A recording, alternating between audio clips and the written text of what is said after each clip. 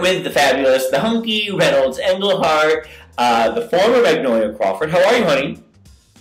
I'm great. How are you? I'm good. I'm good. Tell me a little bit about what's been going on since uh, your season ended. After uh, drag my season ended, I went back to my private life, went back to my career, and I grew a beard. yeah, I see that. You weren't performing anywhere as Magnolia after the season ended. Well, I did perform a little as Magnolia, um, but drag or Magnolia rather is a hobby. After the season, it stopped being fun, so I stopped doing her. Was your experience a positive one, or did you walk away thinking this this is this was not what I signed up for? well, I guess when I went into it, I knew that anything could happen. Uh, I guess all is fair in love and drag. I was aware that I could be turned into a raging bitch. I just didn't think it would happen. I knew it could happen. I just hoped it would. I had a lot, some major reservations doing the show because I don't consider myself, nor have I really ever considered myself to be a drag queen. Doing the show was a little bit out of my comfort zone. And I think that part of the reason I flopped so, so incredibly strongly. Why it was such a disaster. I think I attempted to shove Magnolia into a drag queen box, and she's not. She's not a drag queen. I think if I had managed to go past that first episode, I would have figured out what I was doing more, and I think, I hope I could have got the judges and the audience to appreciate what I do. If I were to do it over again, I would absolutely make no efforts to fit into a drag box and just 100% strictly stick with character. The reason we're talking is because you had a bombshell that you dropped that um, that Magnolia you were you were killing her off.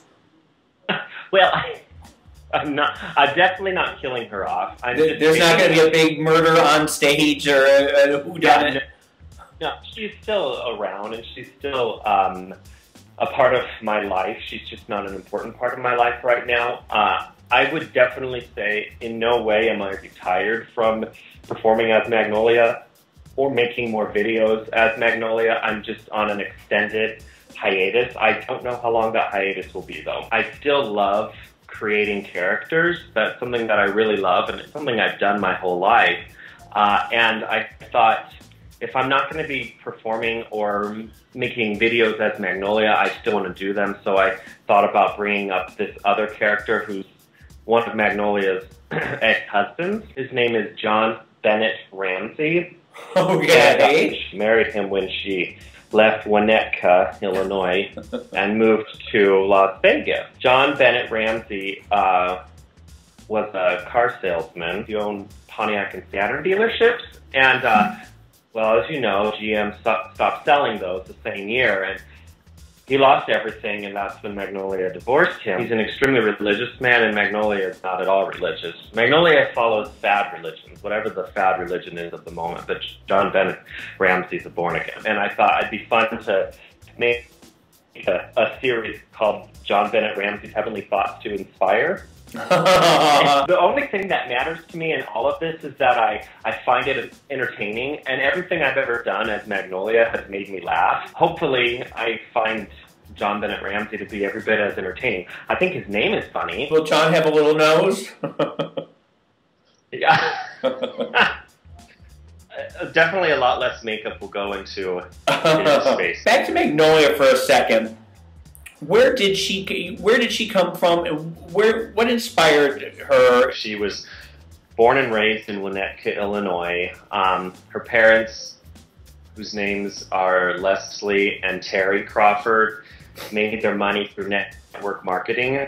And um, she's an only child and she was raised raised to be delusional. She competed in pageants her whole life. She won her very first pageant she competed in as a toddler, and and she won. At least she thinks she won every pageant since then, even though she never actually placed. Her parents would buy her a crown and a trophy and tell her she won.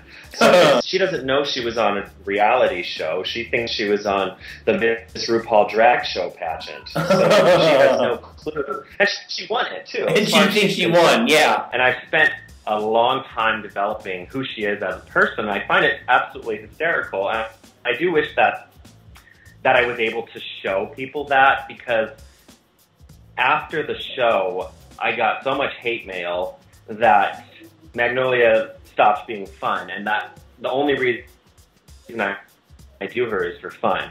Right. You know, I don't need her for money. I don't do it for a living. I do it for fun, and when it stopped being fun, that's why I stopped. I try not to be negative, and I really don't feel negative about any of the experience besides the fact that it just kind of burnt me out, and I have that's you know I've taken a step back, but overall it's been it's been fun. It's all part of the autobiography, right? I mean, it's all just an experience. When you're on your deathbed, you can look back on all the things you've done, and this was a part of it. Exactly. okay. Well, I'm gonna I'm gonna go back and um, let's hope to God that this is recorded.